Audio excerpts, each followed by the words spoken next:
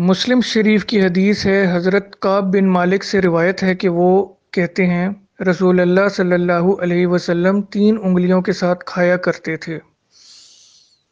और आप हाथ साफ़ करने से पहले इन्हें चाट लिया करते थे।